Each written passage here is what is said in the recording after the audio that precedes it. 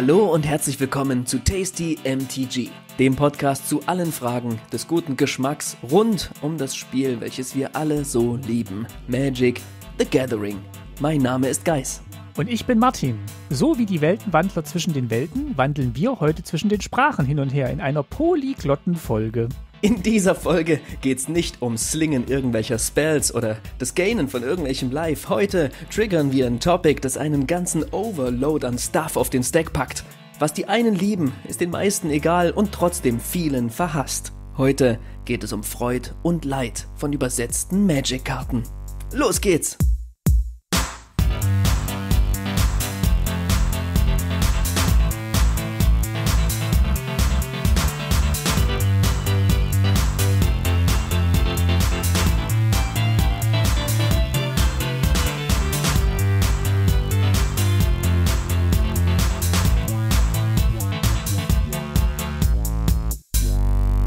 Hallo Martin. Hallo, Geil. Es ist schön, dich zu hören. Hallo, oh, wie deine Stimme klingt. Toll. Ja, frisch aus Kaltheim. Ganz frisch, frisch vereist. sind wir immer noch nicht durch mit den Kaltheim-Wortspielen? Nee, aber wir haben jetzt eine kleine Pause eingelegt und äh, haben heute mal ein Thema dazwischen geschoben, bevor dann schon wieder das nächste Set im Anmarsch ist. Und Schlag äh, auf Schlag. genau, und da geht's jetzt um ähm, die, die, die Sprache.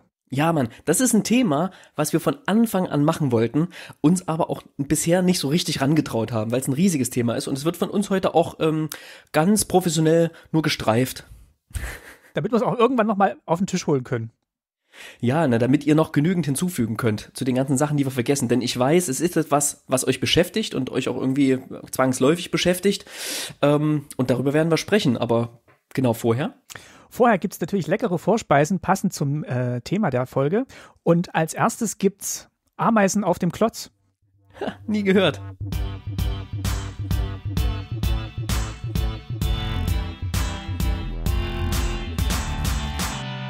Ameisen auf dem Klotz, das ist eine britische Vorspeise. Das sind so Rosinen auf so einem Teig, ähm, auf so einer Teigrolle. Und Ach so. äh, ja, die Gerichte drehen sich heute alle so ein bisschen drum, wie sie. Ants on a Stick. Genau, Ants on a Log. On a Log, natürlich. Sonst wäre es ja Ameisen auf dem Stock. Genau. Und äh, ja, die sind alles ge äh, britische Gerichte, die ähm, es heute gibt. Die, wenn man es ins Deutsche übersetzt, ganz albern klingen. Aber ich glaube, für den Engländer im, oder die Engländerin auch. Die, äh, auch, also so wie wenn man deutsche Gerichte ins Englische übersetzen würde. Ja, aber ich, ich meine, Ants on a Log. Also, das, wenn man das zum ersten Mal hört als britisches Kind, dann denkt man ja auch, Hä? Gut, ich würde dann die, die Ameisen runtersammeln. Nicht, weil ich Ameisen nicht mag, sondern weil ich Rosinen weil du nicht mag. Rosinen magst. Ja, genau. ja, was haben wir für die Vorspeise?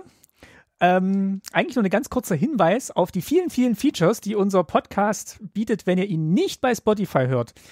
Da haben wir scherzhaft schon mal bei der Adventskalenderfolge darauf hingewiesen, machen es jetzt aber noch mal halb scherzhaft. Denn tatsächlich gibt es so ein paar Features, die Podcast-Feeds anbieten und die auch unser Podcast-Feed anbietet, die Spotify nicht unterstützt. Dazu gehören unter anderem Kapitelbilder. Das machen wir zum Beispiel in den Folgen, wo wir die Set-Reviews machen, also über die neuen Sets sprechen und unsere Preise verleihen. Da gibt es zu jeder Preis, äh, zu jeder Preiskategorie gibt es das passende Bild dazu von der Karte. Das werden wir aber auch heute machen, einfach, dass ihr es direkt ausprobieren könnt.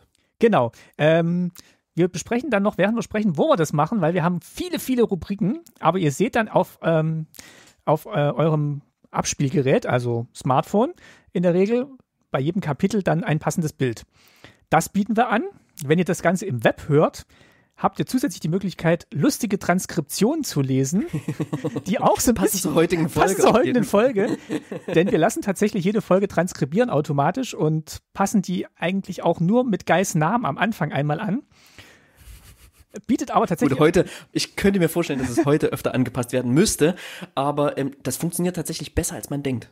Genau, und es bietet den Vorteil, dass ihr einerseits mitlesen könnt, was wir sprechen, und andererseits könnt ihr aber auch, wenn ihr sagt, hm, in der Folge, da haben die beiden doch über ähm, ja, äh, Kaltheim gesprochen und da im Besonderen über diese Karte, ich weiß noch nicht mehr wo, dann könnt ihr tatsächlich im Suchfeld beim Player auf der Website nach, Begr nach Begriffen und Wörtern suchen und findet dann direkt die Stelle im Podcast und springt dann auch direkt beim Anhören an die Stelle, wo wir das sagen.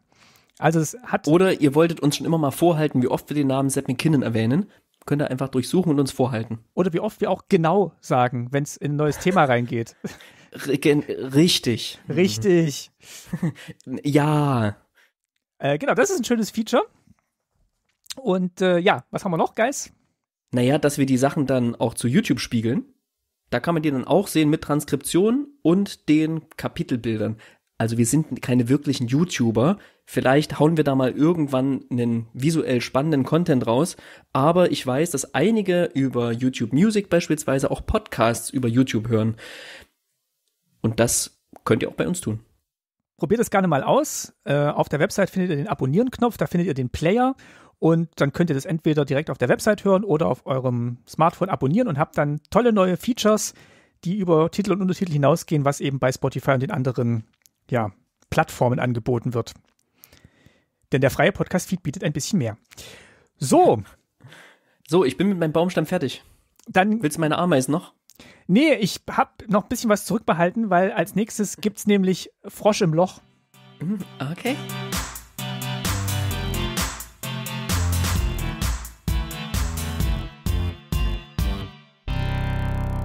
Frosch im Loch ist einfach. Was hat's damit auf sich? Ist Würstchen im Schlafrock. Was auch albern klingt, aber ja, das ist, also das sind, ist so ein Teig aus. Frog so, in the Hole. Nee, wie nennen die das? Frog in the Hole, ja. Hä? Das sind halt. Würstchen. Gut, aber sagt, man sagt ja auch manchmal im Schlafmantel. Ist ja auch Quatsch, ne? Ist alles Quatsch. Weil Würstchen ziehen ja keinen Schlafmantel an. Aber man kann ja auch Pflaumen im Schlafmantel machen. Das ist ja meistens, wenn es mit nee, Schlafmantel ist, wenn es mit Speck umwickelt ist, oder? Je nach Region. Du kannst ja auch, kannst ja auch Pflaumen im Loch machen. Gut, also. Da sind wir schon mit dem Thema. Heute, lass mich mal elegant überleiten. Nämlich mit dem einen aufzuhören zu sprechen, mit dem anderen anzufangen. Nämlich sprechen wir heute über Übersetzungen von Magic-Karten. Äh, warum machen wir das eigentlich? Ihr wisst ja, dass wir wenn ein neues Set rauskommt, auch immer die beste Übersetzung küren und die schlechteste Übersetzung. Denn das ist tatsächlich etwas, was uns beschäftigt. Denn irgendwie, ne, man, man ist ja auch hin und wieder mal gezwungen, man kriegt, man, man kauft sich Karten, mit, man merkt, in einer bestimmten Sprache sind sie preiswerter, holt die sich, kann dann auf Portugiesisch, Spanisch, Italienisch, Französisch, Deutsch. Ähm, und wir spielen natürlich auch mit englischen Karten und benutzen ganz, ganz viele englische Begriffe.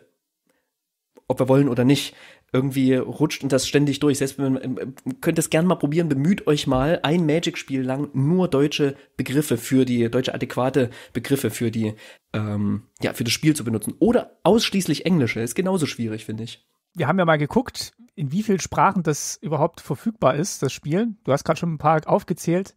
Mhm. Du hast recherchiert, es sind insgesamt elf Sprachen aktuell. Genau, elf offizielle, echte, richtige Sprachen. Plus einige Karten in Phyrexianisch. Jetzt ist ja gerade eine neue hinzugekommen. Ja, Boring Klecks. Und es gibt noch einzelne Prints, äh, so ein paar Promokarten in Latein, Altgriechisch, Sanskrit, Arabisch und Hebräisch. Und es gibt noch eine Karte in Han Unhinged, Latin Pig. Ähm, diese Karte werdet ihr bei Scryfall nicht unter Latin Pig finden, denn die ist in Pig Latin geschrieben. Und äh, Pig Latin, die, ähm, äh, wie hat mein Vater immer gesagt, die verbuchselt die Wechsstaben. Ja.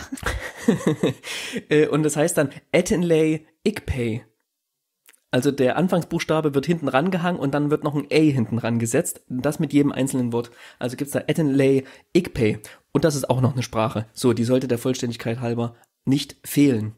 Ja, Magic ist ein Spiel, was coolerweise in sehr, sehr, sehr viele Sprachen übersetzt wird und ähm, nicht, nicht immer und nicht alles wird in jede Sprache übersetzt, ähm, aber es ist ein gewisser Luxus, dass wir eine Sprache sprechen, in die Magic übersetzt wird. So geht's ähm, nicht nicht allen, eben nur elf Sprachregionen.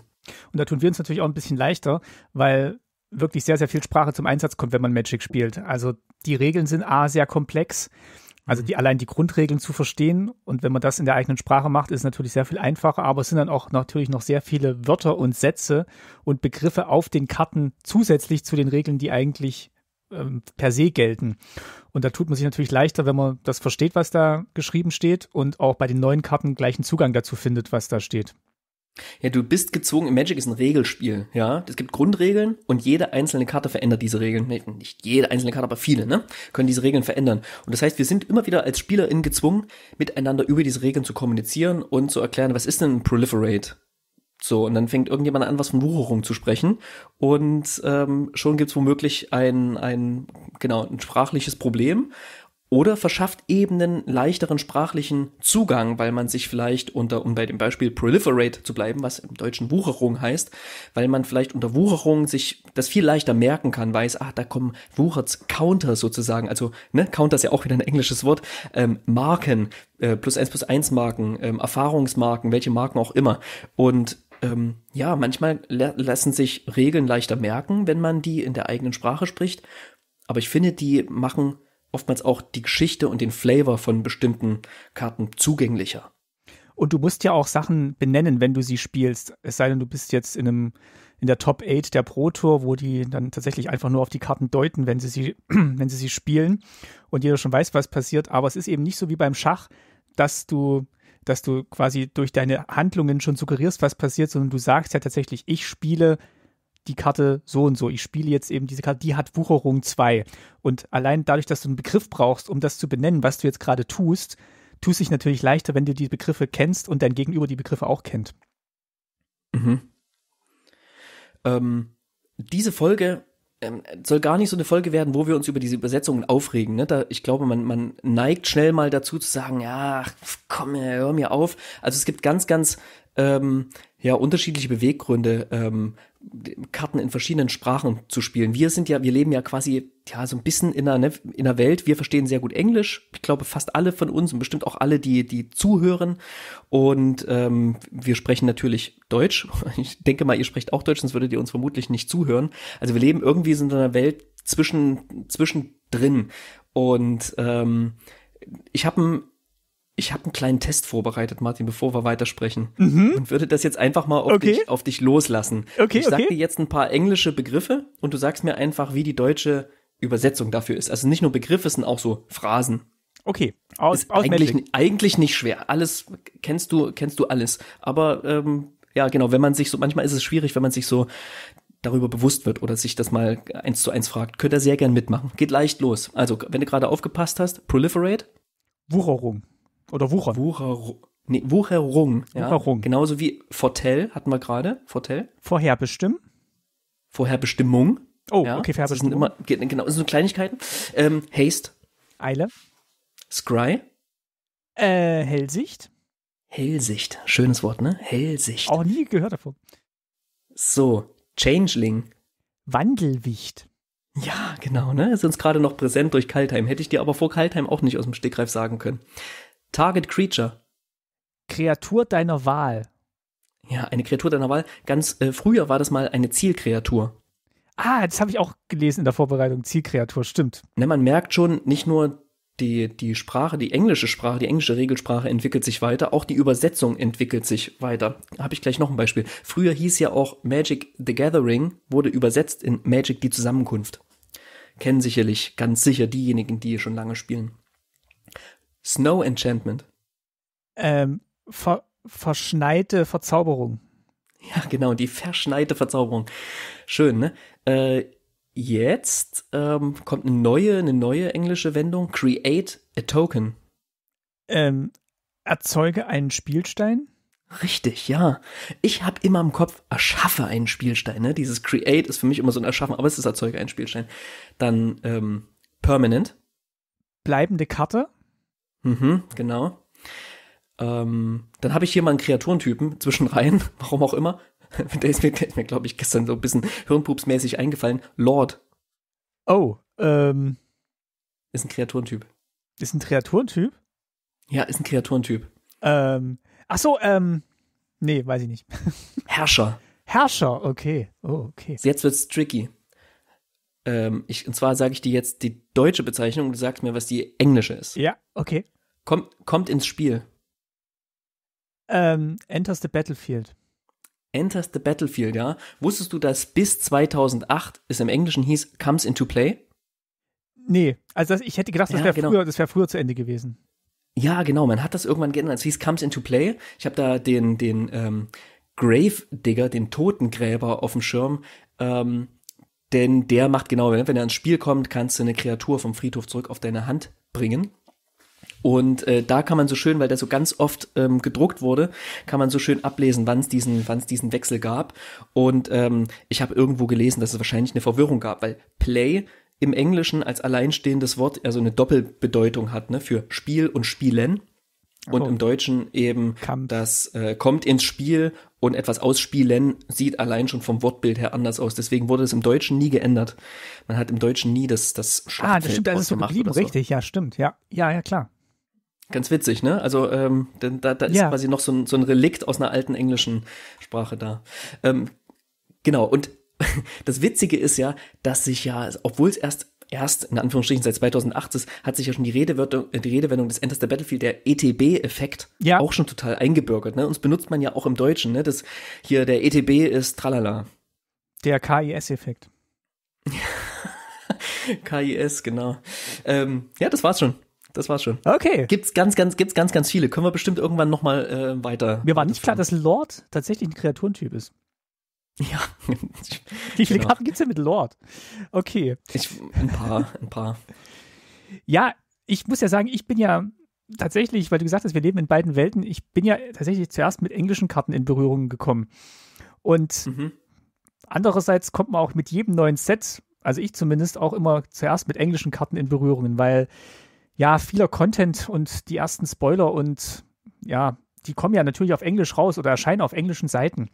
Und was mhm. ich mir halt immer in Vorbereitung auch anhöre für so ein neues Set, sind eben die, die Set-Reviews von Limited Resources, wo die wirklich mhm. jede einzelne Karte durchgehen, dann den englischen Namen dazu sagen. Und meistens ist es dann noch nicht so weit, dass es dazu gleich die deutsche, deutschen Spoiler dazu gibt, wo du parallel gucken kannst. Und deswegen tut man sich dann immer so ein bisschen schwer zum Pre-Release, wenn man dann in dem Laden, wo wir immer spielen, das deutsche Pre-Release-Pack kriegt und dann äh, fünf, 80 neue Karten sieht, die man noch nie gesehen hat, wobei man vorher acht Stunden Content schon mal äh, konsumiert hat. Ja, da, da, da hast du recht, ne? Da ist man, da sind viele so ein bisschen gezwungen und, und nehmen so zähneknirschend das so hin, die sonst nur englische Karten spielen und, und sind dann gezwungen, sich mit den, mit den deutschen Karten zu, zu beschäftigen. Kenne ich von einigen, die das überhaupt nicht, überhaupt nicht so richtig mögen, mit, mit übersetzten Karten zu spielen. Ähm, ja, da gibt's ja auch, gibt ja auch irgendwie so ganz, ganz unterschiedliche, ganz unterschiedliche Beweggründe, mit übersetzten Karten zu spielen. Ne? Zum Beispiel Sammler, die wollen ja einfach ähm, ein einheitliches Bild in ihrer Sammlung haben. So, und weil es halt nur manche Karten übersetzt gibt, beziehungsweise alle Karten in Englisch, dann greifen die natürlich oftmals auf die englischen, englischen Karten zurück. Wobei wir in Europa natürlich dann den Vorteil haben, dass wir ja vielleicht auch durch durch Schulbildung oder Volkshochschulkurse einfach auch im direkten Umfeld um uns rum einfach auch Länder haben, die auch Sprachen haben, in denen Magic vorhanden ist. Und wenn wir Karten kaufen, dann einfach auch auf ein größeres Angebot zugreifen können und im besten Fall auch verstehen, was das für Sprachen sind. Ja. Ja, es ist wirklich eine, eine, eine fast unüberschaubare Welt. Aber wenn ich dann mal so eine asiatisch übersetzte Karte in der Hand habe, die fühlt sich schon ziemlich special an, ne? Ähm, die kriegt man, kriegt man selten irgendwie in die Finger, es sei denn, man sucht konkret danach. Man kauft die konkret irgendwie auf dem Sekundärmarkt. Und wenn dir jemand spielt, dann muss der schon, also dann muss man ihm schon glauben, dass er weiß, was die macht, wenn es jetzt eine super alte Karte ist, von der ich jetzt auch nicht, die ich auch noch nicht so oft gesehen habe. Dann sagt er, ja, das ist die Karte, die macht das und das. ja, im Spiel kann das durchaus, ne, gerade wenn man irgendwie kyrillische Schriftzeichen hat oder so, ja. ähm, Probleme mit sich bringen. Von der Smothering Tide, die ich gekauft habe, auf Russisch habe ich schon äh, ab und zu mal erzählt. Ja. Äh, ich muss selber immer wieder nachschauen, was Smothering Tide macht. Habe ich ähm, gestern, habe ich gestern wieder gespielt, war so gut. ja. Ähm, wir, wir heißen ja, unser Podcast heißt ja Tasty MTG und ich sag ja immer so salopp, ähm, dass der Podcast ist zu allen Fragen des guten Geschmacks. Mhm. Und für viele ist das ja eine Geschmacksfrage. Spiele ich nun übersetzte Karten oder spiele ich nicht übersetzte Karten? Finde ich das irgendwie witzig oder finde ich das nicht witzig? Und ich hatte so ein, so ein kleines Schlüsselmoment. Ähm, vor einigen Jahren durfte ich mal mit so einer anderen Playgroup zusammenspielen, ähm, haben da gedraftet und danach haben wir halt unsere Picks so ein bisschen ähm, äh, genau, unsere die gedrafteten Karten quasi gepickt und, und getauscht und so weiter. Und da meinte der, sag mal, hast du hier den, boah, was war das? Irgendein Vampir. Da meinte ich, ja, ja, klar, hab ich hier, hier, hier. Guckt sich die Karte an und sagt, ah, der ist auf Englisch, den kann ich nicht nehmen. Und ich so, wie? Ich so, naja, meine Commander-Decks, die sind alle komplett auf Deutsch. Okay. So, wie, die sind komplett auf Deutsch? Hä? Und habe das, ich habe das nicht gecheckt. Auch ich habe damals nur englische Booster gekauft, Ach, was? nur das ganze Ding auf Englisch gespielt, weil ich überzeugt davon war, das ist das Spiel wird auf Englisch gemacht, also ist Englisch die korrekte, die korrektere Sprache und in der Übersetzung gibt es bestimmten Reibungsverlust. Und dann hat er mir so ein bisschen davon erzählt, ne, dass er das spannend findet, dass er auch spaßig findet, die Übersetzungen. Und ich habe das erste Mal auch kapiert, dass die Übersetzungen auch eine Style-Frage sind. Und dass er das so einsetzt als ähm, Mittel, um seinen Decks zu personalisieren und denen so eine, das ist wie ein Foiling sozusagen, ne? Nur, dass die Karten sich nicht wählen, wenn sie, wenn sie übersetzt werden. Und dann fand ich das spannend, hab ein bisschen aufgehorcht, hab und hab dann auf solche äh, Karten geachtet, bis dann irgendwann der Savage Punch daherkam. Savage Punch eine nette Karte, aber wenn er eben, als ich den deutschen Titel gehört habe, der brutale Fausthieb, den fand ich eben sehr, sehr, mh, mm, der war mir emotional zugänglicher. Da hat es mir gleich ein bisschen wehgetan, als ich das gehört habe. Und das fand ich einfach geil. So, das da dachte ich, ja cool, das kann für mich die englische Sprache nicht nicht bieten, diesen Zugang, diesen, ne, also ich, ich, hör, ich, ich höre Fausthieb und, und ich spüre was. Ich höre Punch und ja, denke an das Wort und in meinem Kopf wird übersetzt erstmal. Also es gibt einen Reibungsverlust bei der Übersetzung, emotionalen Reibungsverlust. Ja, genau. Und seitdem bin ich ein sehr, sehr großer Fan von den Übersetzungen. Nicht von allen, aber von den Übersetzungen per se und mag das, deutsche Karten zu spielen. Versuche meine Commander-Decks ähm, deutsch zu gestalten, aber bin da auch nicht so konsequent. Ich hatte so einen emotionalen Schlüsselmoment ähm, leider noch nicht. Habe mich aber mittlerweile trotzdem auch mit den deutschen Übersetzungen angefreundet. Ich war auch am Anfang so wie du unterwegs, wo ich gesagt habe, okay, das ist halt ein Spiel, das kommt aus Amerika und das ist halt alles schön clean designt dort und formuliert und wohlformuliert und es geht bestimmt was verloren im Deutschen, wenn ja, dann klingt es nicht mehr so, dann klingt nicht mehr so elegant und viele Karten klingen auch nicht mehr so elegant. Was dann für mich so ein bisschen Ausschlag gegeben hat, war tatsächlich so die Beschäftigung mit, mit den Karten und auch das Spielen in unserer Playgroup, wo es eben auch ähm, einen gibt, der dann halt wirklich jedes, jede Karte wirklich ähm, deutsch benennt und auch das, was sie macht, korrekt deutsch benennt und auch ähm, richtig dekliniert und konjugiert mit den ganzen Begriffen. Und das klingt dann schon auch elegant, habe ich dann festgestellt. Und ähm, in der Vorbereitung. Grüße gehen raus an Artefaxe. Genau, genau. Also er macht das wirklich immer sehr schön. Und was wir festgestellt haben, was ich festgestellt habe, wo wir uns das erste Mal intensiver drüber unterhalten haben, war tatsächlich auch bei Throne of Eldraine, wo halt diese Märchenwelt zum Einsatz kam, die halt doch sehr mhm. auch aus der Richtung der Gebrüder Grimm kommt und man da eigentlich schon auch so Begriffe im Kopf hat, die man erwarten würde und die einfach für mich auch mit mit deutschen Begriffen besetzt sind, weil ich es eben als, aus Kindermärchen her kenne. Und als die dann aufgetaucht sind, dann dachte ich, okay, ah, da, da funktioniert es tatsächlich so eine Übersetzung besser, wenn dann auch ja, der, der Flavor dazu passt. Also das kann ich dann durchaus nachvollziehen. Ja, das ist, glaube ich, auch ein Set, was vielen getaugt hat von den Übersetzungen, wo sie, wo es mehr Schmunzler als sonst gab und sich die ÜbersetzerInnen auch ein bisschen, bisschen freier heran, ein bisschen gestalterischer rangewagt haben, sag ich mal. Haben sich ein bisschen mehr getraut, einfach Sachen zu übersetzen, die nicht eins zu eins so dastehen. Wir haben hier geschrieben, Backe, Backe, Kuchen. Das ist natürlich ein deutsches also kein Märchen, ist halt ein deutsches Kinderlied, Kinderreim. Im Englischen Bake into a Pie. Und da fand ich es tatsächlich schön, dass sie aus dem Pie den Kuchen gemacht haben und eben auch dieses Kinderlied aufgegriffen haben. Also sowas wünsche ich mir tatsächlich dann an der Stelle öfter und da zieht es mich auch rein in diese Fantasy-Welt das ist auch vielen, vielen Erinnerungen geblieben als eine, als eine sehr, sehr positive oder eine sehr gelungene Übersetzung. Das höre ich immer wieder. Auch als ich vorher so ein bisschen äh, rumgefragt habe und die ein oder andere Reddit-Umfrage gemacht habe zu dem Thema, kam das als Beispiel immer wieder. Aber trotzdem haben viele Leute ihre Probleme mit den Übersetzungen. Lass uns doch mal darüber ein bisschen sprechen. Es gibt ja nicht nur die den persönlichen Vorliebe für eine bestimmte Sprache oder bestimmte Wörter, sondern es hat dann auch wirklich ganz konkrete spielerische Auswirkungen. Also wenn du nicht genau verstehst, was jetzt gemeint ist oder wenn tatsächlich vielleicht auch Fehler in der Übersetzung passiert sind, dann behindert es eben das, das Spielen und vielleicht auch dein, dein Spaß an dem Spiel und vielleicht auch dein Sieg in einem wichtigen Spiel. Also wenn da nicht genau klar ist, was die Karte macht und der Text unverständlich ist oder schlecht übersetzt, dann leidet das Spielerlebnis drunter. Ich habe ein schönes Beispiel. Ich habe ein schönes Beispiel. Ich habe es erst nicht ganz gecheckt, ähm, das hat mir auch jemand auf Reddit ge geschrieben und ich musste wirklich zweimal lesen, erstmal um zu kapieren, was er meint und dann um zu kapieren, was hier übersetzt wurde. Also es geht um den Kreis der Wahrheit, den Verity Cycle. Der Titel ist erstmal fein übersetzt und ähm, ich überlege jetzt, ob ich ich leg, lese dir erst die deutsche die deutsche ähm, Übersetzung mhm. vor. Die ist übrigens korrekt, so ne, die ist korrekt. Die ist grammatikalisch korrekt und auch inhaltlich korrekt und trotzdem hat man einen Knoten im Kopf. Pass auf. Immer wenn eine Kreatur den Gegner kontrolliert getappt wird, und falls dies nicht passiert, so wie sie als Angreifer deklariert wird, kannst du eine Karte ziehen. Was machst du, wenn du die ausspielst, wenn die, wenn die Verzauberung getriggert wird? Der Gegner kann eine Kreatur, nee, ich muss eine Kreatur tappen? Ich, ich lese, ich lese nochmal vor. Es ist, es ist eigentlich relativ easy. Immer wenn eine Kreatur, die einen Gegner kontrolliert, immer wenn eine Kreatur, die einen Gegner kontrolliert, getappt wird, und mhm. falls dies nicht passiert, so wie sie als Angreifer deklariert wird, kannst du eine Karte ziehen. Kurz gesagt, wenn der Gegner eine Kreatur tappt und das passiert nicht beim Angreifen, ah, okay. dann ziehst du eine Karte.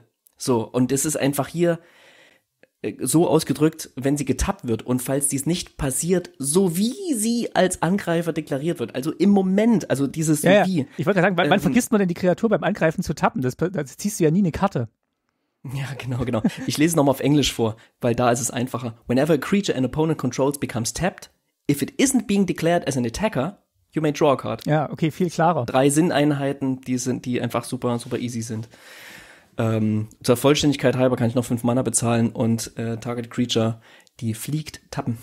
Das erinnert mich so ein bisschen an, an mein Studium de, de, der Rechtswissenschaften, wo ich ein Semester in meinem betriebswirtschaftlichen Marketingstudium Martin, meine Vorlesung hatte, äh, Jura, Aha. wo es dann wirklich auch darum ging, wirklich präzise auf den Satzbau zu gucken man so wirklich sich am Gesetzestext entlang hangelt. Und das habe ich dann auch später in Magic wiedererkannt. Also, dass dann wirklich die Formulierungen, also wenn ich früher Magic gespielt hätte, hätte ich mich da, glaube ich, leichter getan, weil man dann wirklich lernt, dass bestimmte Formulierungen halt immer in einem bestimmten Kontext gebraucht werden und man die dann quasi auch so zusammenbauen kann wie so ein, wie so ein Puzzle. Diese, diese Spielregeltexte sind einfach eine, wie so eine Betriebsanleitung für einen Videorekorder. Ja. Nur, nur in gut. Die sind, wollte ich jetzt nicht sagen, wie schlecht. Die sind, die funktionieren einfach technisch sehr, sehr gut. Das sind Betriebsanleitungen, die sehr, sehr genau sind. Es ist wie eine Programmiersprache, sogar ganz buchstäblich. Ne? Ich kenne mich da leider nicht gut genug aus, aber Arena und Magic Online, die lesen ja tatsächlich die Karten und können dann durch den Satzbau entscheiden, was, was passiert quasi. Also die lesen mit und die lesen die, die, die, die Wortphrasen, diese, diese Halbsätze, die da drin stehen und übersetzen die in technische, technische Interaktion total spannend, aber da kenne ich mich leider nicht gut genug aus und kann mir sehr, sehr gern jemand sein Wissen ähm, schreiben. Nee, aber das habe ich Twitter an tasty-mpg. Das habe ich auch gelesen, dass, äh, dass die wirklich halt die Logik des Spiels in Arena einprogrammiert haben, sodass sie halt relativ einfach neue Karten hinzufügen können. Was ich auch noch weiß, ist, was, wo viele ein Problem mit Übersetzungen haben, gerade deutschen Übersetzungen, ist, dass halt der Text dann mehr wird auf der Karte, dass er länger wird. Ähm, ne? Man muss mehr Worte benutzen. Mm, Bittestriche. Die Worte an sich sind länger und ich habe ein, ich hab ein sehr, sehr, sehr, sehr schönes, extremes Beispiel ähm, gefunden, wurde mir zugeschickt. Und zwar gibt es auf äh, Ursas Fabrik, Ursas Factory, bringst du einen Token ins Spiel. Und der Token ist ein Montagearbeiter-Artefakt-Kreaturspielstein. Hat mal jemand einen Montagearbeiter-Artefakt-Kreaturspielstein? Ähm, der ist durch, durch einen Bindestrich noch unterteilt, natürlich. Ne? Wir wissen, auch Magic in den Übersetzungen ist nicht, ähm, äh, kennt den Bindestrich und benutzt ihn häufiger, als es wahrscheinlich im, äh, im, der Duden vorgesehen hat. Und ich muss zu, zu der Fairness halber sagen, auch im Englischen ist es sehr, sehr lang. Da ist es auch der äh, Assembly Worker Artifact Creature Token. So. Nur, dass es da halt einfach eins, zwei, drei, vier, fünf Worte sind, wo ein, wo zwei davon mit einem Bindestrich verbunden sind. Ja, da kommen wir gleich noch dazu, ähm, was ja. dieser, ähm, dass halt die englische Sprache da auch ein paar Besonderheiten hat, wie sie halt Substantive kombinieren kann und Wörter kombinieren kann. Da ist das, ist das Deutsche zwar auch relativ klar, aber macht es dann halt ein bisschen schwieriger zu, zu lesen. Montagearbeiter, Artefakt, Kreaturen, Spielstein. Wenn du das fünfmal sagst, kannst du einen wirken. Dann kommt einer ins Spiel. Ey, wenn ich fünf davon habe, dann würde ich das fünfmal sagen. ich habe keinen Token dazu gefunden. Ich weiß gar nicht, gibt es dazu einen Token? Ich habe leider keinen, keinen gefunden. Ja, konnte die produziert werden im deutschen Fall. das wird aber zu lang waren. Ja, das kennt man tatsächlich, ne, von den, von den Titeln, von den Karten, deren, ähm, die, der dann sehr, sehr lang wird, dass die Schrift immer kleiner ja, wird. Ja, wird immer kleiner und dann hat man schon pff, keine Lust, die Karte zu spielen, weil sie schon so kompliziert klingt. Wie du schon sagtest, ne? durch die Übersetzung gibt es Reibungsverluste und äh, es gibt natürlich eine gewisse Fehleranfälligkeit, dass übersetzte Karten falsch übersetzt werden. Jetzt revanchiere ich mich mal mit einem kleinen Ratespiel für dich. Ähm, ich habe drei Karten rausgesucht und ich würde dir den Ach, englischen Flavor, äh, den englischen Oracle-Text, also den Regeltext vorlesen. Und ähm, du, ah, du, übersetzt okay. mir das und sagst, äh, was das im Deutschen heißen würde.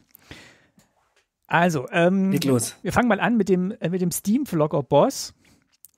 aus äh, Ja. Future Sight. Ähm, kennst du den deutschen Namen? Steam Vlogger Boss. Ich habe in der Vorbereitung wurde mir immer mal wieder der, der Dampfsippler genannt. Nee, das ist Steamkin. Die Steamkin wird übersetzt mit Dampfsippler. ähm, äh, Dampf Steam, Vlogger, Dampf. Oh, nee, keine Ahnung. Das musst du mir übersetzen. Ist der Boss der Dampfpeitscher. Dampfpeitscher. Steam Vlogger Boss. So, und der Ja, sagt, geil. Other rigger creatures you control get plus one plus zero and have haste.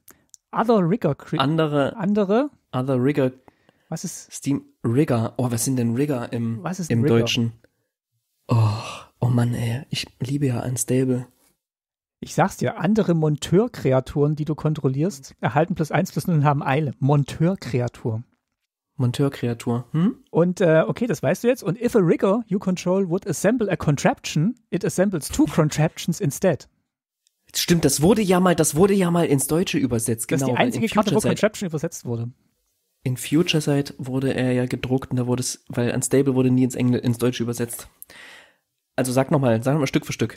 If a rigger, mal, if a rigger, if a, if a rigger, wenn ein Montage, Monteur, wenn ein Fall- falls Monteur, ein Monteur, falls ein Monteur, if genau. a rigger you control would assemble a contraption. Falls ein Monteur, Assemble a Contraption, falls ein Monteur, den du kontrollierst, eine Contraption assembled. Das ist übrigens wirklich auch so ein denglisches Ding, was wir immer sagen, ne? Ich, ense ich en ensemble mal eine Contraption. Ich assemble mal eine Contraption. Ist im Deutschen, falls ein Monteur, den du kontrollierst, ein Gerät zusammenbauen würde, baut er stattdessen zwei Geräte zusammen.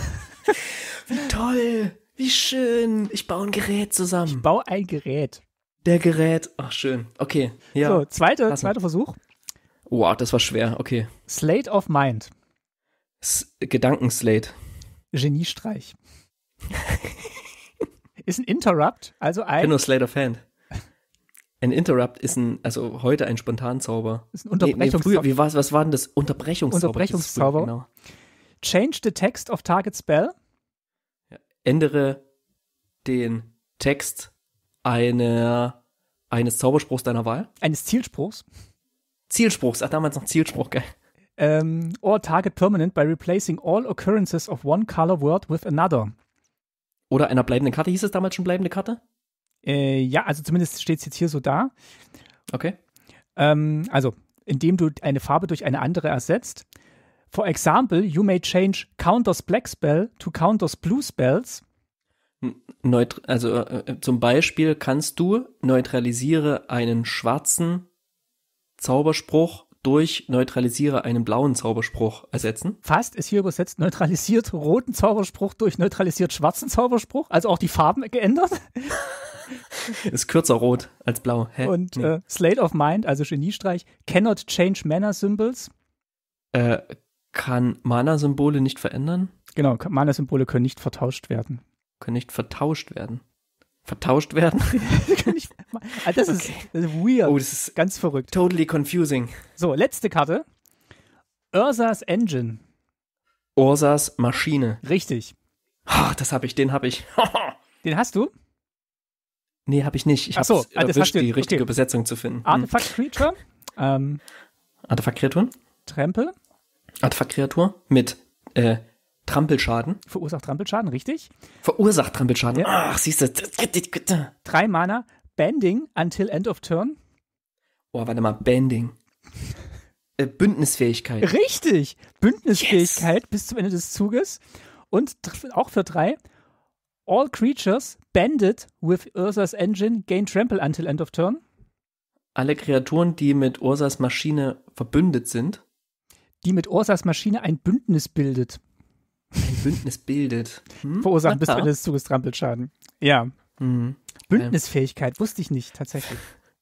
Ja, das, also, da sieht man mal, das sind wirklich komplexe Sachen und die, die wirklich nur einmal oder zweimal auftauchen, das, das kannst du dir auch nicht, das kannst du dir auch nicht merken. Das ist im Englischen vielleicht ähnlich schwierig, aber da ist halt Contraption auch ein Wort, was du vielleicht in dem Zusammenhang öfter hörst, aber Gerät, Es macht's plötzlich griffig, ne? Also ganz ernsthaft, in dem Moment, wo du das gesagt hast, habe ich, habe ich, hat sich das, die Contraption irgendwie anders angefühlt. Contraption ist ein Wort, das kenne ich nicht. Das benutze ich nicht, wenn ich Englisch spreche, sozusagen, ne? Es mag dem ein oder anderen Spezialisten irgendwie anders gehen, ähm, aber ich würde, Gerät ist, ist, ist, ist cool, ne? Es macht es irgendwie so simpel plötzlich und mit, damit kommt auch irgendwie so ein gewisser Humor mit rein. Das mag ich. Das mag glaube ich, Vorrichtung ne? Wenn, sagen. Vor, auch gut. Vorrichtung, auch, aber Gerät ist könnte ich auch mitleben. So, das waren jetzt die Fehler, die wir gemacht haben, aber es gibt natürlich jetzt auch Fehler, die handfest bewiesen wurden. Und ähm, oh ja. da gibt es so ein paar und Sachen, sicherlich, die auch einen Einfluss hatten aufs Spiel und vielleicht zur Diskussion im Spielladen geführt haben. Im Game Store. Sicherlich auch das, worüber am, am meisten gesprochen wird immer, ne? Also wenn man Übersetzungen spricht, dann holt jeder irgendwie seine Anekdote raus, was schon mal falsch übersetzt wurde. Und wir haben ein paar zusammengesammelt. Was ich hier, äh, worüber wir hier sprechen wollen, ist nicht, sind nicht keine freien Übersetzungen, ne? Wie zum Beispiel ähm, Blutzoll Feuerball was die korrekte Übersetzung für Channel Fireball wäre. Denn Channel wurde übersetzt mit Blutzoll. Und an dieser Stelle einen kleinen Shoutout an einen YouTube-Kanal. Ähm, Channel, YouTube-Channel, ein Kanal, könnte man so übersetzen, muss man aber nicht, kann man auch an, an YouTube, an YouTube Blutzoll, nämlich den YouTube-Kanal Blutzoll Feuerball. Der heißt einfach so. Und äh, mit dem haben wir ein bisschen hin und her geschrieben. Der Typ, der das macht, ist tatsächlich Doktor der Sprachwissenschaften. Und gut, ähm, genau, hat uns, hat uns einfach ein paar lustige Beispiele geschickt und deswegen hier ein kleiner Shoutout. Schaut mal rein. Macht, glaube ich, Inhalte auf Deutsch und auf Englisch. So, du hast ein paar Sachen rausgesucht oder die dir auch genannt worden sind, ne, die einfach auch abstrus sind, wenn man sie heute hört. Lass uns erstmal über ein paar Fehler sprechen, die so den Inhalt und den Flavor mhm. irgendwie beeinflussen oder plötzlich einen anderen Inhalt irgendwie vermitteln. Und ähm, Eins davon ist nicht ganz so lange her, wurde nämlich gedruckt in, in Eldridge Moon und wurde im Französischen falsch übersetzt. Heißt auf Deutsch Sturzflug auf die Sünder. Ähm, wie ist der, der englische Titel? Der englische Titel ist Descent, Descent upon the Sinful. Und alle haben immer gesagt, ja, hier, die ist falsch übersetzt im Französischen. Und ich habe das gelesen und ich dachte, na, wo ist denn der Fehler? Ich sehe ihn gar nicht. Es ist ein kleiner Fehler, nämlich Fondre sur les pêcheurs. Und wenn man Pêcheur auf dem ersten E ein Accent grave setzt, das ist dieses kleine, ah nee, ein Accent circonflex, mhm, das genau. ist dieses kleine Dach, dieser Dach. kleine, dieses kleine Dach, dann äh, heißt es eben so viel wie Sturzflug auf die Fischer. die haben doch gar nichts gemacht. Ähm, warum, warum greift ihr uns an, Mann?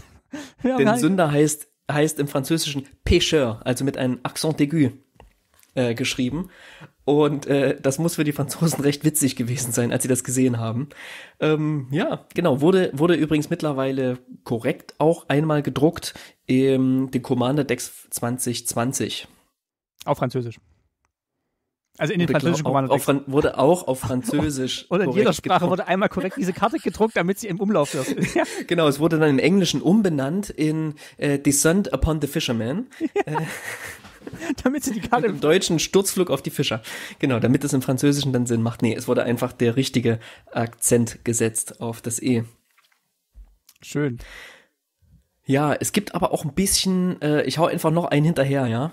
Und zwar, es gibt noch einen, der so ein, äh, ja, so ein bisschen weittragend ist. Und zwar im Portugiesischen ähm, wurde die Karte Zwang, Duress, mhm. unter, unterschiedlich übersetzt. Und zwar nicht der Text, sondern der Titel ja. Ich kann es nicht aussprechen, wie es genau heißt. Ähm, Coagir heißt es, glaube ich, ähm, wird, glaube ich, die eine Variante ausgesprochen und Coergier die andere.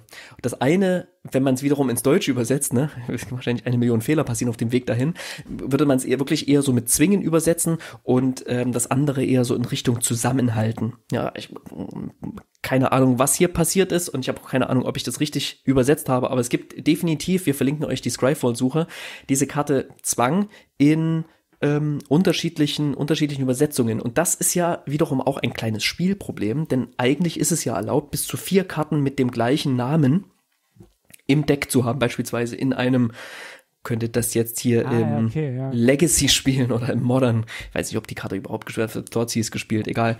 Und da könnte man dann theoretisch, es wäre regelkonform, acht davon spielen.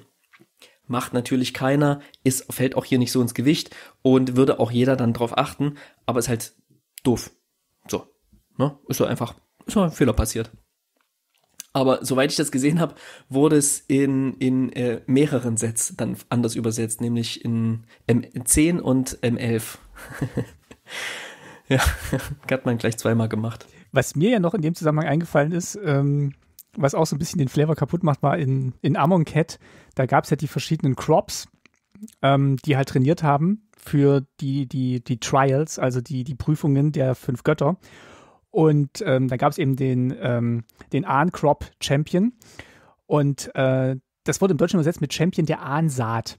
Und ich, also ich habe das selber noch nie gehört, dass das halt so eine, so, so ein Trupp oder eine Schar, was ich eigentlich immer mit Crop verbunden hatte, also eine Schar, ähm, mhm. was vielleicht auch diesen militärischen Ausdruck besser, besser beschreibt, dass das mit Saat übersetzt wurde. Also ich habe ja nie gehört, da kommt eine Saat Soldaten oder so. Also es ist dann eher, wo ich dann auch dachte, dass das klingt einfach komisch und es hat auch nichts mit mit, mit, mit äh, landwirtschaftlicher Tätigkeit zu tun, was die da machen, sondern es ist einfach halt so ein militärischer Trupp. Und das, das ist, macht so ein bisschen, mhm. da, da stutzt du kur kurz und wirst halt aus dieser Welt rausgerissen. Ich, ich glaube, es ist ein Fehler. Nachdem du mir das gesagt hast, ähm, bin ich fast davon überzeugt, dass das wirklich ein Fehler ist und kein, also ich weiß nicht, ob man Saat auch im militärischen Sinne benutzen kann. Das, das wäre meine Frage es, auch, ja. Es ist ja definitiv eine militärische Abbildung, ja, und es geht ja auch um, um, um ja, kämpfende Kreaturen quasi. Mhm. Deswegen wäre so eine Ahnschar, was meinem Begriff so eher ein militärischer Begriff ist, durchaus passender. Ja, das sind jetzt die Sachen, die halt so ein bisschen uns aus der Welt rausreißen, aber wenn sie uns halt auch aus dem Spiel so ein bisschen rausreißen, in dem dann irgendwie Diskussionen entstehen, da gibt es auch ein paar Fehler. Und ähm, den ersten, den wir hier genannt haben, den äh, wenn, du, wenn ich darf, darf ich den kurz erzählen hier, weil den, gegen ja. den habe ich tatsächlich auch mal spielen müssen im Laden. Hä, und die du auch? Und die Diskussion führen müssen. Ja, das war tatsächlich beim Pre-Release von. Da waren wir zusammen. Ja. Du auch. Du hast auch gegen den Typen gespielt, ja? Ich, genau, ich habe gegen okay, den gleichen. Erzähl mal, was gemeint ist, damit jeder weiß, worum, worum wir worüber sprechen. Genau, also wir sind auch wieder in Amonkhet und haben gerade schon die fünf Götter erwähnt und der grüne Gott ist eben Ronas, the Indomitable, im Deutschen Ronas der Unbezwingbare. Und der hat eben im Englischen die Fähigkeit, Todesberührung und ist unzerstörbar. Hat aber auch Ronas, the Indomitable, can't attack or block unless you control another creature with power 4 or greater. Also der ist zwar eine 5-5, kann aber nicht angreifen oder blocken, wenn du nicht eine andere starke Kreatur mit 4 Power hast. Im Deutschen ist es auch richtig übersetzt worden, man hat bloß vergessen, ähm, das Blocken hinzuschreiben. Also der steht, Ronas, der Unbezwingbare, kann nicht angreifen, es sei denn, du kontrollierst eine andere Kreatur mit Stärke 4 oder weniger. Und kann ich angreifen Oh, ja, genau. Genau, der, also du, er, er, kann blocken. Und das war eben eine Diskussion, in die wir beide dann reingerannt sind, weil wir natürlich ähm, durch unser Vorwissen wussten, dass die Karte im Englischen halt äh, noch das Blocken mit drin hat und haben halt angegriffen und der sagt, oh, ich block, steht ja hier, man kann nur nicht angreifen, aber blocken kann er. Und das sind dann halt Sachen, da musst du dann erstmal beweisen, dass das im, im Englischen richtig ist, weil laut Spielregeln gelten halt die Texte der englischen Karten und nicht das, was auf der aktuellen Karte gedruckt ist. Mhm. Ja, genau. Ich habe gegen den Typen dann auch verloren und seinen Ronas. Ja. Und es führt halt zu unschönen Situationen, weil du willst ja nicht der sein, der dann irgendwie so pedantisch auf Übersetzungen hinweist als letzten Strohhalm, damit du jetzt dieses Spiel vielleicht noch gewinnst. Aber in dem Fall war es halt wirklich signifikant, ob der jetzt eine 5-5 hat oder nicht. Von solchen Sachen gibt es tatsächlich eine ganze Menge. Und wie schon gesagt, hier gibt es nur ein paar Beispiele. Ähm, eins möchte ich noch erwähnen, weil es so absurd mir vorkam. Und zwar ist das Ebenholz-Amulett, der Ebony Charm. Denn der, der kam in Mirage ähm, wo ich gerade gar nicht weiß, wie das Set auf Deutsch heißt. Ähm, und das wurde so derart falsch übersetzt, dass ich gar nicht weiß, was da, was da passiert ist. Es wurde über, äh, diese Charms machen ja immer, ne, diese Amulette machen immer, wähle eins und dann gibt's verschiedene Modi, aus denen du wählen kannst. Und der hat als erstes äh, Target Opponent loses one life and you gain one life. Und im Deutschen wurde das übersetzt mit jeder Spieler verliert drei Lebenspunkte. Da war jemand kreativ, der die übersetzt hat. Der hat was Komplettes draus gemacht. Jeder Spieler verliert drei Lebenspunkte. Target Opponent loses one life and you gain one life. Das ist was komplett anderes. Ähm, und das, das ist, ist, auch gut. nicht das Einzige. Da gibt's noch, da gibt's noch, noch mehr Karten ähm, darauf. Ähm, Im Englischen beispielsweise Target Creature gains fear until end of turn, Furcht. Und im Deutschen ist es eine angreifende Kreatur deiner Wahl erhält Erstschlag bis zum Ende des Zuges.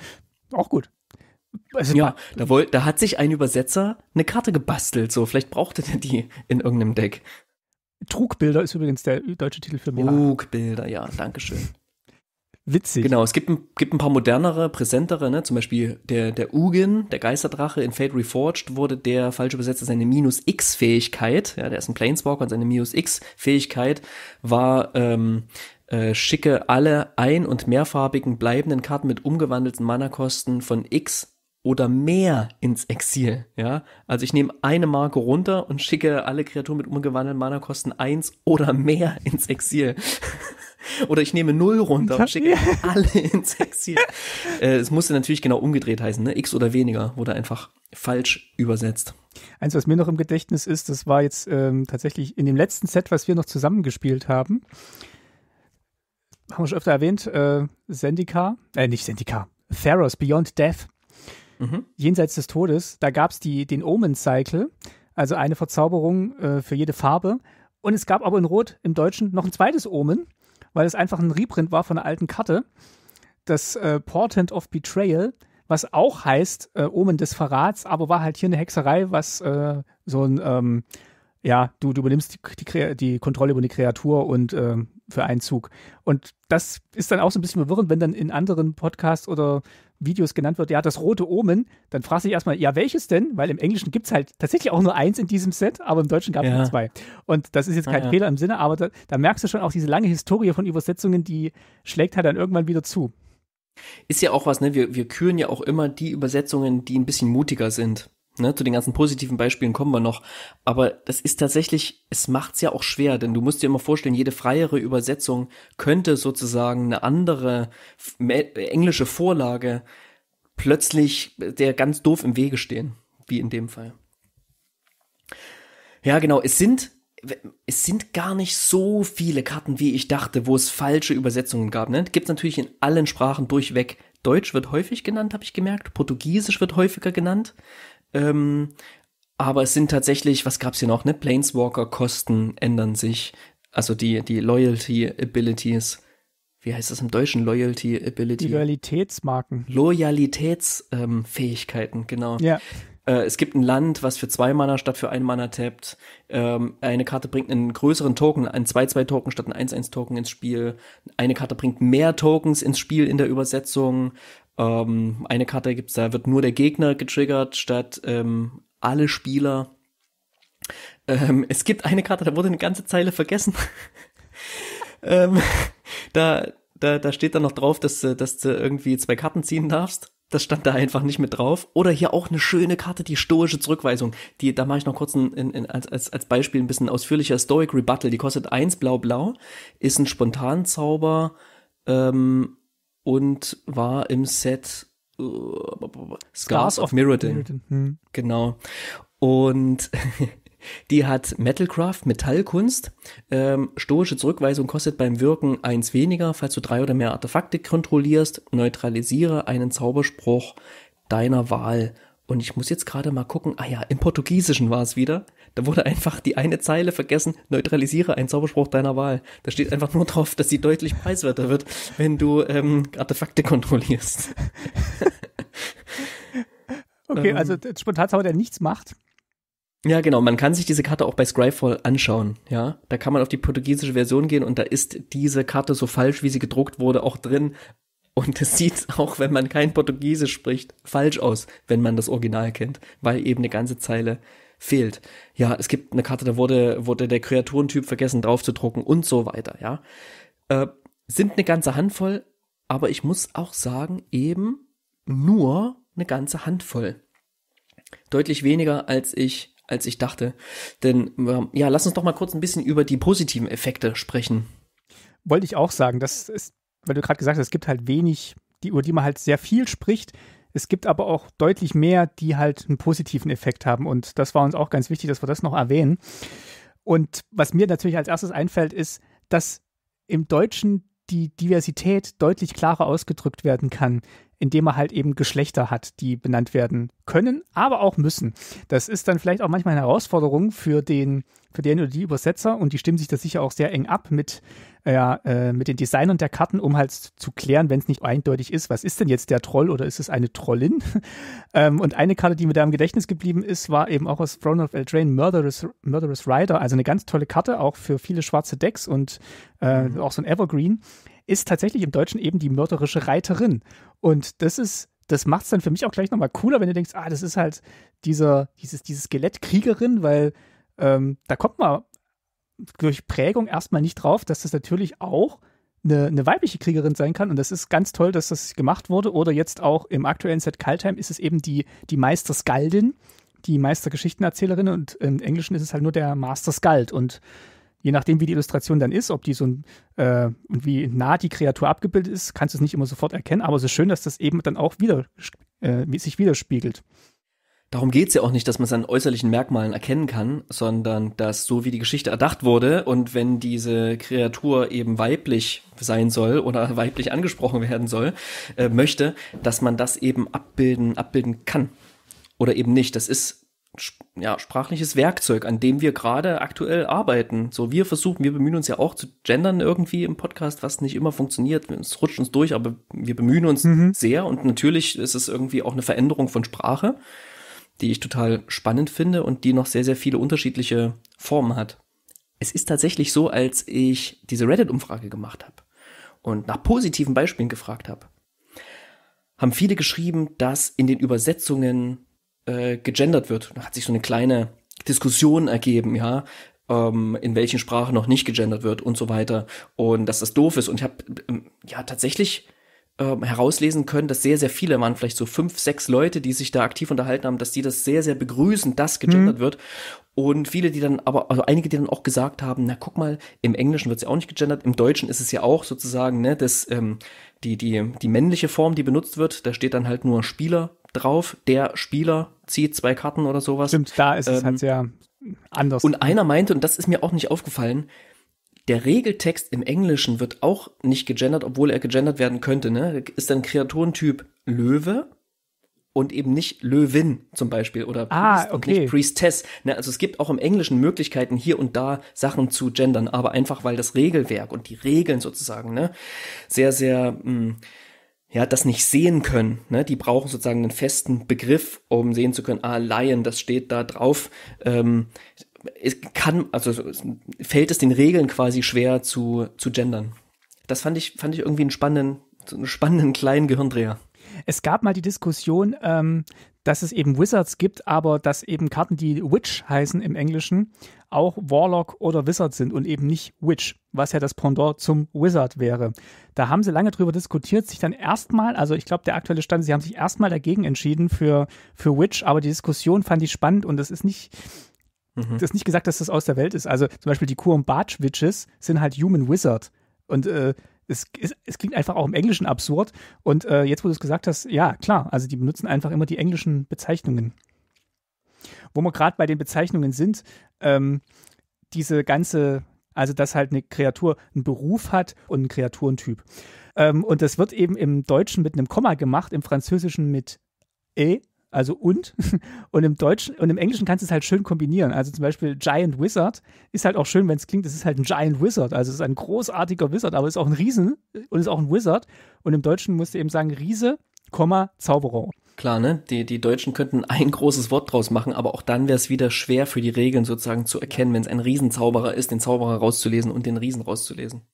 Ansonsten hast du halt im Deutschen, was du schon gesagt hast, wirklich viel, viel Text, weil die deutsche Sprache einfach längere Wörter macht und auch durch die zusammengesetzten Substantive und Bindestriche halt auch einfach zu längeren Wörteransammlungen, Buchstabenansammlungen neigt.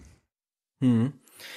Ja, wir haben tatsächlich in unserer Playgroup viel darüber diskutiert, ne, was irgendwie cooler ist und wer was wie spielen will. Und so mein, mein ähm, Totschlagargument ist ja, ist einfach immer, dass meine Muttersprache mir emotional zugänglicher ist wenn ich ein deutsches Wort höre für Tisch, ja, dann habe ich einen konkreten Tisch, keine Ahnung, vielleicht den Wohnzimmertisch, der in meinem Elternhaus stand oder so im Kopf, mhm. ne? Aber ich habe plötzlich, ich verbinde sofort ein Bild damit. Wenn ich Table höre, dann findet in meinem Kopf erstmal eine Übersetzung statt. Und es, wenn ich Table höre, sehe ich nicht den Tisch, der in meinem Elternhaus stand. So, Das dann stimmt, sehe ich ja. vielleicht einen Tisch, der in einem Englischbuch abgebildet war oder sowas.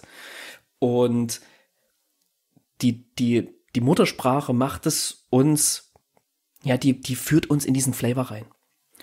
Naja, aber, und ich weiß, ich habe da auch mit dir drüber gesprochen, Martin. Ähm, ich habe da auch mit äh, Grulex drüber gesprochen. Äh, Grüße gehen raus an Alex, unserer Playgroup. Dass der meinte, na guck mal, das ist ein Fantasy-Spiel, was wir hier spielen. Und irgendwie ist Englisch ja auch, ähm, weil es eben nicht meine Muttersprache ist, auch ein bisschen die Sprache, die ich mit einer Fantasy-Welt verbinde. Und das sind dann die Sachen, die dort drinstehen, die Kreaturentypen und so weiter, die hören sich eben noch Fantasy-mäßiger an, wenn die eben in einer anderen Sprache erklingen, die ich ja trotzdem verstehen kann. Und das konnte ich auf jeden Fall auch total gut verstehen. Ich weiß nicht, wie, wie geht's denn dir, Martin? Ähm, bist du, bist du hin und her gerissen oder, oder bist du schon so eher so Camp im Original spielen? Ich war eher Camp im Original spielen. Durch Diskussion mit euch habe ich jetzt eben auch seit Throne of Eldraine immer mal bewusst auch mit, mit deutsche Karten angeguckt, intensiver angeguckt, mit Arena jetzt natürlich auch im Lockdown einfach die Möglichkeit gehabt, die Sprache zu ändern und einfach auch mal zwei, drei Spiele oder jetzt habe ich es eigentlich auch konstant auf Deutsch gestellt, mit den deutschen Karten zu spielen, dann doch wieder rumzuschalten aufs Englische. Also das ist natürlich ein super Feature von digitalen Spielen. Ich finde ich finde auch diese, dieses Argument richtig für mich, dass man sagt, äh, durch diese englische Bezeichnung ist es halt was anderes als der Alltag und man kommt halt in diese Fantasy-Welt rein. Bei gelungenen deutschen Übersetzungen passiert es auch, passiert es auch in meiner Muttersprache tatsächlich. Aber wenn ich mich jetzt entscheiden würde, ob es jetzt nur noch deutsche oder englische Karten geben sollte, dann würde ich mich wahrscheinlich für die englischen entscheiden, weil es einfach für mich auch cleaner und sauberer und manchmal auch mit ein bisschen mehr Pfiff gemacht wurde. Ähm, ich sehe aber immer mehr auch die Vorteile von eingedeutschten Karten und ja, freue mich jetzt auch, wenn ich die auf Arena spielen kann. Ja, ja. Wir, es ist einfach, es ist, ja, wir leben in beiden Welten, muss man einfach sagen. Ob wir wollen oder nicht, ähm, das gilt für uns wie für alle anderen, die über Magic sprechen und Magic spielen, dass wir Dinge benutzen, die aus dem Englischen kommen und die mittlerweile sogar festen Einzug gehalten haben in die Übersetzung. Schön zu sehen, schön abzulesen am Wort Mill, was jetzt gerade neu als, als Keyword, als Keyworded Ability, oh Mann, ey, ich kann, kommt da immer durcheinander, ähm, geschaffen wurde, Karten äh, von der Bibliothek in den Friedhof werfen. Und das wurde nicht übersetzt mit Malen oder mit Mühlen. Was tatsächlich ein Wort ist. Mühlen? Ja. Ja, ein sehr altes, das sel selten gebrauchtes Wort, das stimmt. Sondern es wurde einfach mit Mill übersetzt. Vollkommen richtigerweise, wie ich finde, denn das ist das Wort, was wir alle benutzen, wenn wir sagen, hey, Mill mal zehn Karten. Ist auch im Englischen ja ein Kunstwort in dem Zusammenhang. Genau. Da wird ja auch nichts zermahlen, sondern wird halt, es bedeutet halt was, weil das eben von Millstone kommt, der ersten Karte, die das benutzt hat, die Mechan Mhm. Mechanismus. Ja, genau. Und ähm, dann benutzen wir es natürlich auch gerne weiter, weil es sich jetzt eigentlich auch schon so eingebürgert hat. Die Frage, die wir noch hatten, ähm, wie werden eigentlich diese Magic-Karten übersetzt, war uns tatsächlich Die wurde nicht so richtig beantwortet. Wurde nicht so richtig klar. Also wir haben natürlich die Vermutung, dass natürlich da jetzt auch nicht kurz vor Release im Deutschen jemand entsetzt feststellt, dass das jetzt noch übersetzt werden muss. Und da wird es schon auch Prozesse innerhalb des Unternehmens geben, die dann halt so eine Übersetzung anstoßen. Und da werden sicher auch Leute mit beauftragt sein, die das schon regelmäßig gemacht haben. Da gibt es sicher auch einen Guide und äh, ein Übersetzungs- wie, äh, was halt bestimmte Sachen heißen. Aber es kommen halt immer neue Karten dazu und dann müssen eben auch immer neue Wörter gefunden werden. Ja, gerade wenn es um diese ganzen Flavor- und Lore-Geschichten geht, das finde ich schon ganz schön schwierig, da nicht komplett daneben zu treten und plötzlich, stell dir vor, die, die Ahnenschar, die hätte es irgendwie schon mal gegeben oder die wären in einem Flavortext schon mal aufgetaucht und plötzlich heißen sie Ahnsaat und keiner kann sie mehr zusammenbringen und die Geschichte pflückt sich damit total auseinander. Ich will nicht sagen, dass es vielleicht nicht sogar schon passiert ist, aber mh, man muss es der, den ÜbersetzerInnen schon anrechnen, dass das nicht zu häufig passiert, so, ne, dass irgendwie das komplett wild durcheinander übersetzt wird, Nee, sondern irgendwie immer eine gewisse Konsistenz hat. Nee, also man kennt schon auch den, den Magic-Stil an manchen Stellen. Auch so die, die, die Manierismen, die sie sich so im, in den Übersetzungen antrainiert haben. Das erkennt man schon wieder. Und manchmal ist, wie gesagt, auch eine Perle dabei und manchmal ist halt auch ein Fehlgriff dabei. Aber so das, das, das, die, das Brot- und Buttergeschäft und die durchschnittliche Karte ist eigentlich sehr gut übersetzt und verständlich übersetzt. Also von daher glauben einfach mal, dass Wizards da auch gut Leute an der Hand hat, die auch den Ehrgeiz haben, immer besser zu werden. Also ich bin tatsächlich noch dabei herauszufinden, wie es konkret passiert, ja, wie die die Karten übersetzen und habe ganz unterschiedliche Sachen gehört. Die einen sprechen davon, dass Wizards in-house Leute hat, die die Karten übersetzt. Andere sprechen davon, dass es externe Agenturen gibt, die das machen. Wechselnde Agenturen. Andere sprechen davon, dass es quasi so ein richtiges Ping-Pong-Prinzip gibt und ein sehr, sehr ja, technischer Vorgang ist von Listen, und Excel-Tabellen. Keine Ahnung. Ich, ich weiß es, wie gesagt, nicht genau. Wenn ich es rausfinde, werde ich es in einer der anderen Folgen noch nachschieben. Oder wenn Wizards uns hört und die Antwort weiß, gerne Bescheid sagen. Ja, oder jemand, der selber mit übersetzt. Ja. Ich habe großes Interesse, auch einfach mal privat mit jemandem zu sprechen, der das, der das macht und gemacht hat und äh, mehr darüber zu erfahren, weil ich es alles andere als trivial finde zum Abschluss hast du noch ein paar lustige Sachen rausgesucht. Das Beste das heißt, kommt zum Schluss. Ich hätte es am Anfang teasern sollen, ehrlich gesagt. Das heißt, wir möchten auf jeden Fall jetzt mit dem oder derjenigen sprechen, die folgende Übersetzung, die Geist gleich nennen wird, ähm, übersetzt hat, weil da zeigt sich das ganze Wohl und Wehe der Übersetzungen. Genau, ich fange mal mit ein paar zurückhaltenden, aber schönen Sachen an. Wie gesagt, ich muss sagen, für mich funktioniert es total, wenn die Übersetzungen so sind, dass ich total schmunzeln muss dabei. Denn das ist etwas, was Magic für mich machen muss. Mich unterhalten, mich zum Schmunzeln bringen und ich habe nichts dagegen, wenn irgendwie eine Total Serious Card so übersetzt wurde, dass sie ein bisschen, fast schon ein bisschen lächerlich klingt. Das stört mich überhaupt nicht, ist, ist eine Qualität. Und äh, das erste Beispiel ist der Royal Assassin. Wie gesagt, ich spreche nicht, was die Karten machen. Ich spreche nur davon, wie mhm. sie übersetzt wurden. Der Royal Assassin wurde übersetzt mit Meistermeuchler und derjenige, der mir diese Karte zugesandt hat, der meinte, es funktioniert für ihn total gut, weil er muss dann immer denken an jemanden, der heißt Meister Meuchler. So wie Meister ja, sowas Eder. wie Meister Eder. ja. ja, genau. Das ist der Meister Meuchler. Und ähm, wenn man die Illustration sieht, das sieht einfach ein bisschen witzig aus. Schaut euch das mal an. Finde ich ganz, ganz toll. Ähm, ähnliches, ähnliche, ähnliche Karte, auch eine schwarze Kreatur, die auch gut als Removal eingesetzt werden kann, das ist Massacre Girl, was im Deutschen halt nicht Massacre Mädchen heißt, sondern Massacre Mädel. Und geht total gut mit diesem Sprachrhythmus mit. Schön, ja, ne? so, Alliterationen sind eh immer gut, ne? Finden wir eh immer toll. Finden wir eh immer toll.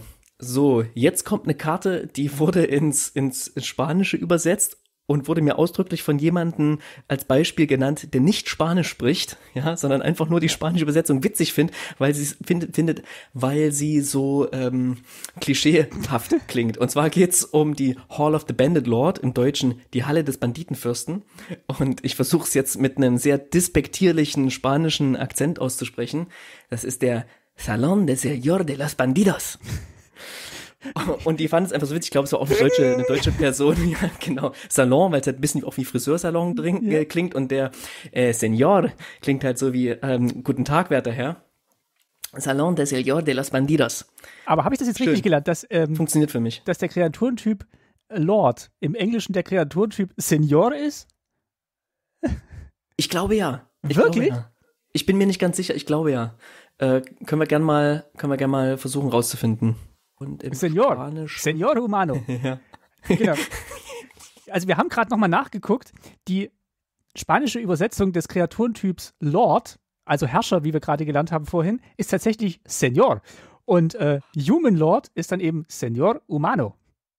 Oh, da fällt mir noch was ganz Tolles ein. Ich wollte ja ähm, unserem guten Freund, dem Proxy Pierre, schon immer ein ganz, ganz tolles Pierre-Deck bauen. Denn ähm, Pierre sind, heißen ja. die ganzen Mana-Rocks, ja, die ganzen Steine. Stein heißt auf Französisch Pierre. Und ähm, dem wollte ich mal ein Pierre-Deck bauen. Da erinnere mich gerade wieder. Hoffentlich hört er nicht zu. Senor Goblin. nee, Senor Trasco leider. Äh. Ah. Hervorragend. Gut. Okay, Jetzt, jetzt wird es ein bisschen, jetzt wird's ein bisschen pubertärer. Und zwar Sage's Dowsing. Sages. Wurde im Deutschen so schön übersetzt mit ähm, Bespritzen des Weisen. Das, was ist das denn im Deutschen? Also was, was, was passiert denn dem Weisen im, im Original?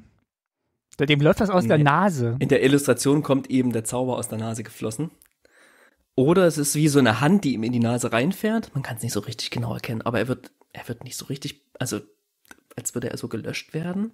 Neutralisierenden Zauberspruch. Das ist ein Counter. Das ist so, der, der, der brennt, der brennt auch so ein bisschen, ne? Der brennt in der Illustration, diese Kreatur. Und dann wird er so mit Wasser bespritzt und neutralisiert. Die Marrow und ihr Einmischen seien verflucht. Seitdem ich in der Nähe des Flusses bin, kann ich noch nicht einmal mehr niesen, ohne gleich total durchnässt zu sein. Sagt Ascheline, okay. die Pilgerin. Auf ganzer Linie einer folgt diese Übersetzung. Mhm, okay. Ähm, es wird noch pubertärer und zwar geht's um die Seed Cradle Witch. Mhm. Das ist die Samenschaukelhexe. Natürlich. Das ist die Samenschaukelhexe. Lass uns kurz pubertär in uns hineinkichern. so wie die Samenschaukelhexe auch. Ach ja. Anderes Beispiel noch, äh, Atrios, God of Passage, habe ich ein Commander-Deck, ne? Vom mhm. Gott der Überfahrt. Gott der Überfahrt. Ahoi! Rheinschifffahrten mit Atrios. Atrios, Rheinschifffahrten. so, jetzt ganz, ganz toll. Der Myr Superion. Superion? Myr Superion. Superion? Der über mir. Der über mir? Wo? Oh, ich kann nicht schlafen. Der über mir, der ist schon wieder so laut. ah, schön. Dann der Spirit Monger hat eine witzige Übersetzung. Der wurde nämlich übersetzt mit röhrender Reliops. Schöne, schöne Alliteration. Aber der Reliops, Reliops an sich heißt rückwärts gelesen. Spoiler. Ha? Nicht schlecht. Ja, einfach mal ausgedacht. Ich hatte jetzt diesen Mops von Loriot so ein bisschen äh, im Bild. der, also, der sich zum Elch zurückentwickelt. Aber gut, der ja. Reliops, ja. Das klingt nach jemandem, der beim ähm, Podcast Wasser trinkt mit Kohlensäure. Dann einer unserer Übersetzungswins aus ähm, Sendika, nicht sollte nicht unerwähnt bleiben, der Murasa Rootgrazer. Der Wurzelgraser aus Murasa. Schön. so toll hat im, beim Pre-Release im, im Spieleladen sofort für einen Schmunzler, für einen lauten Lacher erzeugt und hat hier direkt hier, guck mal, schau mal, wie der heißt und so, und hat gleich das Spiel gestaltet. Ne? Man hat sofort was gehabt, worüber man sich ein bisschen lustig machen konnte. Ganz cool. Und für die, die jetzt fragen, hä, Release im Laden, Zendika Rising? Ja, Geis war beim Pre-Release, ja, dem einzigen, ja. was stattfinden konnte in dieser Pandemie. Unter verschärften Nee, ich war bei zweien. Ah, M, bei zweien, okay. M21. Bei M21 war ich auch im Laden. Also ja, das ging und da wurde anscheinend herzhaft, Zu sechst waren wir da. herzhaft gelacht hinter der Plexiglasscheibe über die Wurzelgrase. Durch die Maske wurde herzhaft in die Plexiglasscheibe gelacht, genau. ähm, und so. dann äh, gibt es einfach noch so viele schöne Beispiele, wo es funktioniert, wo die ÜbersetzerInnen kreativ waren, wo sie sich was getraut haben. Und eine davon ist der Shark Typhoon. Der im Deutschen so schön heißt, der Haifun. Das ist so super. Das ist echt toll. Der Haifun ist wirklich super. Ist perfekt. Es gibt auch niemanden, den ich kenne, der sagt, so was für ein Quatsch. So. Aber man kann auch nicht erwarten, dass aus jeder Karte so ein kleines Übersetzungskunstwerk wird und so ein, ja, Witz, wie Freud es bezeichnet hat. Good luck, high fun. ähm, danke. so, schickt uns eure Beispiele auf Twitter an tasty-mtg. Und wir kredenzen uns jetzt einen Nachtisch. Was gibt's denn, Martin? Ich habe ähm, natürlich passend zu unserem Podcast einen Tassenkuchen gemacht.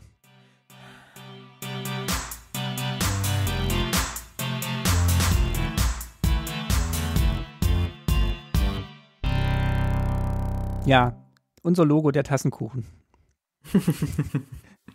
Muffin. Ähm. Muffin. Reggamuffin. Ragamuffin. Ragamuffin ist übrigens eine Magic-Karte. Wirklich? Warte, jetzt, warte, warte, warte. Jetzt, jetzt. Jedes Mal denke ich mir auch. Wenn du das sagst. Ähm, ja, guck mal nach. Ragamuffin, doch hier, Ragamuffin, mit Y natürlich. Ja, genau, mit Y geschrieben, so wie die Binder im Binder im Deutschen mit Y geschrieben werden, damit es nicht aussieht wie Binder. So, und im Deutschen kennt man es aber eher als das Gassenkind. Ragamuffin. Ist ja so ein bekannter Ausspruch ja. aus der populären Musik. Gassenkind. Gut. Ja. Das sollte nicht unser Nachtisch sein. Sondern. Aber Martin, du hast einen kleinen Nachtisch rausgesucht. Nee, einen sehr, sehr schön passenden Ach so, ja, ich habe einen rausgesucht. Und zwar gibt es einen schönen Twitter-Account, der passend zu unserem Podcast Übersetzungen anbietet. Und zwar Übersetzungen, die mehrmals durch Google Translator gejagt wurden und dann die Magic-Karte so verunstalten, dass man gar nicht mehr so richtig weiß, was die eigentlich macht. Und das ist der schöne Twitter-Account Rose Waterstone in Anspielung auf, die, auf Mark Rosewater natürlich. Und jetzt muss ich scharf überlegen, ähm, den Rosetta Stone, der natürlich, ähm, kennst du natürlich Rosetta Stone? Diese alte, Ja. diese alte Tafel, mit der man dann äh, alte Schriften entziffern kann. Und da gibt es eben ganz tolle ähm, äh, Karten, die eben einmal durch Google Translate gejagt wurden. Hast du es gerade noch offen? Sollen wir mal ein Beispiel sagen? Ja, sag mal ein Beispiel. Also, wir haben hier zum Beispiel, haben wir uns vorhin angeguckt, Hanna O. Johannes für vier und zwei blaue. Ähm, Employees. I am free from death. I am dead macht die Karte für vier und zwei blaue Mana. Und äh, Reminder-Text für alle, die jetzt nicht wissen, was gemeint ist. In the meantime, you can add Ginger and three more cans. If necessary, mark it as a label. Und dann macht die Karte Then lay the bottom on all sides.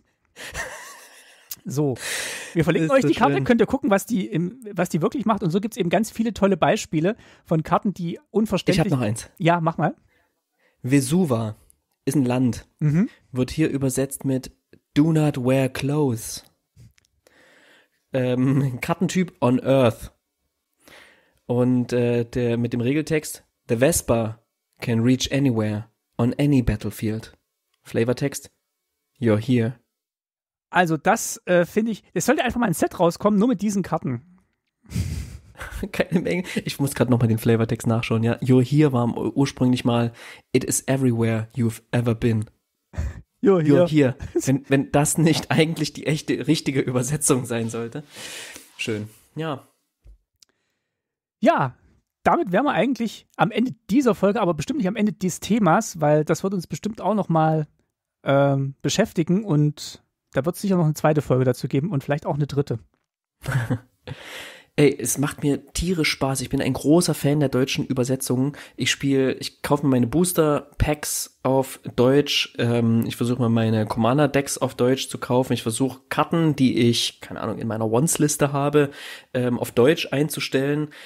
Und mache dann nur ab und zu mal Ausnahmen, denn deutsche Karten sind ja meistens immer ein bisschen teurer, ne, haben aber dafür, wenn man sie im Booster zieht, auch ein bisschen höheren Wiederverkaufswert, weil es einfach nicht so viele davon gibt. Aber sehr, sehr viele, ja, deutsche Magic-SpielerInnen, die das auch offenbar ganz cool finden, mit deutschen Karten zu spielen. Ähm, und jetzt wollen wir natürlich hören, was eure Meinung dazu ist. Schreibt's uns. Den Twitter-Händler habe ich schon genannt, aber ich werde nicht müde, ihn nochmal zu nennen. At tasty-mtg. Und da will ich einfach witzige Beispiele hören und äh, die ernsthaftesten Meinungen zu dem Thema, bitte. Ja, und gerne auch als Kommentar oder als Kommentar bei iTunes oder wo auch immer ihr das gerade hört. Das freut uns auch. Und ähm, ja, ich glaube, ich spiele jetzt mal eine Runde Arena auf Spanisch. Das kann man ja auch machen, um vielleicht auch seine Spanischkenntnisse ein bisschen aufzubrechen. Mit dem Señor Hermano. Oder Humano. Ja, Sch schön, wunderbar. Schick mir einen Screenshot. Das war wieder eine sehr schöne Folge mit dir, Guys. Und äh, ja, wir versuchen, dass wir uns bald wieder hören. Das war Tasty MCG für diese Ausgabe. Habt's gut und macht's schön. Bis bald. Tschüss.